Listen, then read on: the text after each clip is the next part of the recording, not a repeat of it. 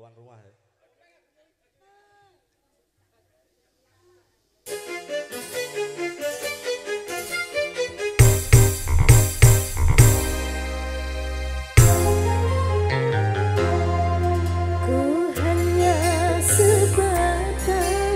Mengenal wajahmu kasih